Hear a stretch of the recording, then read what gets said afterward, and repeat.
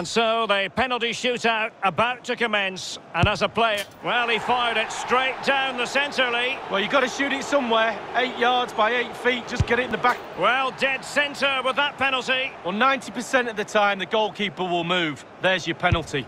And off the top of the crossbar. Well, he looked nervous, didn't he? He's gambled on direction and won. Well, he's got his angles right there. Just look at that for goalkeeping. And you've got to sympathise with the goalkeeper, Lee. Nearly made the save. Yeah, it's so difficult for keepers. He gets the right way and he's just inches away. And he's failed from the spot. Rule number one, hit the... Well, he squandered the chance and badly. Oh, that memory, Derek, won't fade. In it goes. Well, that's why players practice penalties in training. Well, chance wasted. Well, hit the target, 12 yards out, please. It all falls on his shoulders. If he scores, they win.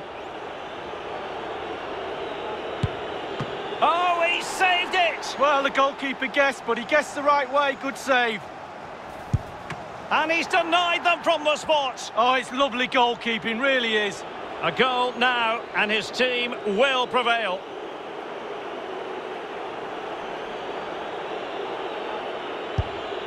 A moment he dearly wishes he could have back. Well, I thought he was in and he did too, but no.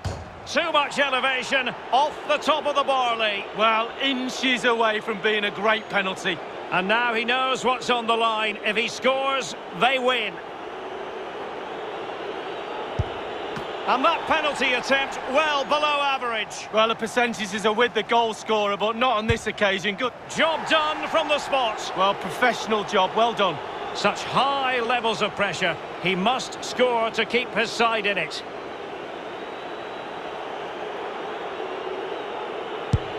Penalty saved! And that's the end of the story. Well, it's so often a guessing game, but he's guessed.